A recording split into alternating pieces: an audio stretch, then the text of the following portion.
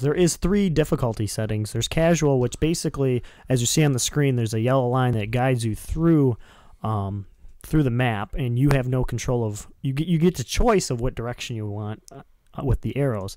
Um, then there is a moderate and a expert. Um, where you control where you go. So you have to control what direction by leaning on the board from left and right.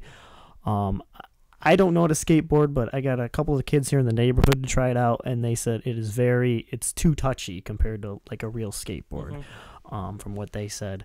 Um, so trying to do all do all that, I tried it at an expert. You can do like the speed runs, which is a good fun. Uh, I like those. You can do those, and those are fun to steer yourself. But trying to pull off tricks in a certain order while controlling, it's just it's too touchy. It's it's just it's not. Yeah.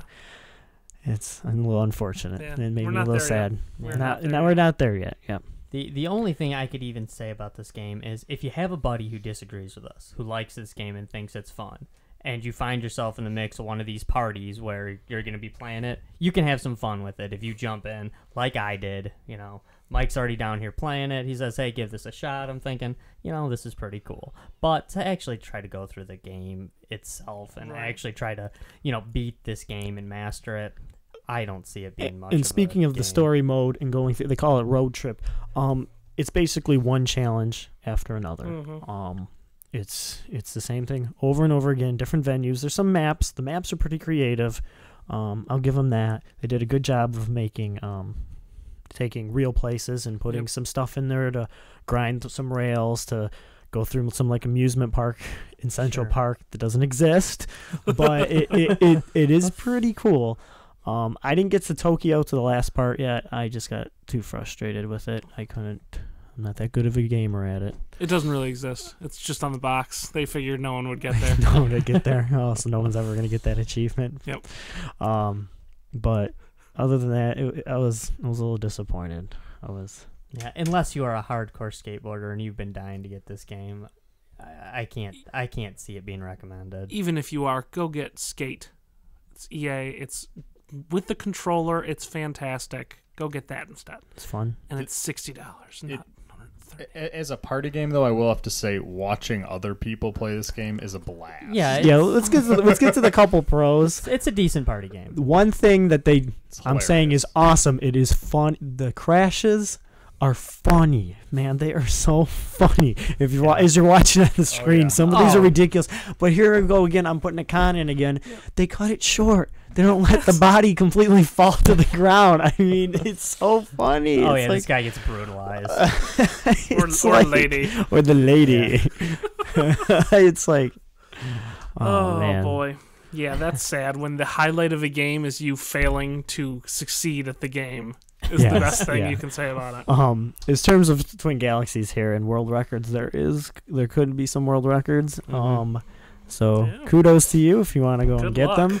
Um, obviously we'll have the settings. Uh, give us some time, of course. Full testing of the game needs to go through.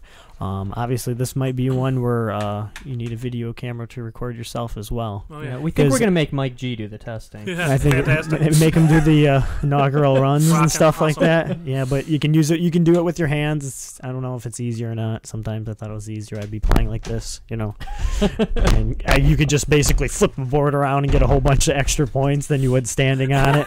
It's like jumping off the Yeah, power pad. But navigating it, going like this with your hands, just doesn't work either.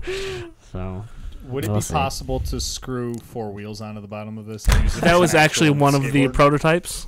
Had wheels on it. Really? Really? They were just rooted to a piece of plywood. Go out there and look for um, Tony Hawk Ride prototype controllers Hmm. on the internet. Anywhere you go, you will find a big, huge write up at several sites with a bunch of pictures of the things that were almost this game. Huh. they said I like the concept, but Some some kid would have killed Maybe they'll- themselves if they put wheels on this thing. yeah. So I'm sure some kid's gonna kill themselves on this thing. Uh, I Probably, almost fell but off. But I mean, you almost I wonder did. with the with the wheels if their lawyers didn't just say, "Yeah, right, take Yeah. the wheels off that thing right now." And it's another thing you need. You need some shoes to wear when you play this game. yeah, Playing in your socks can only get you so far in the game. So, Nick, overall, what do you give this game? Score one out of ten. Uh, a six. I would give it a seven, honestly, but the hundred and thirty dollar price tag is just too steep for me. Hmm. I'm gonna go with the uh, I'm gonna go with the three. Uh, the other stuff that's out there is just way too good, and the controls are broken at best. So three out of ten. Yeah, I'm gonna go six as well. Um, you know, I can't agree more with Nick. You know, um, game's fun, but for 130 bucks, no way. They said everything I wanted to say. I give it a five out of ten though.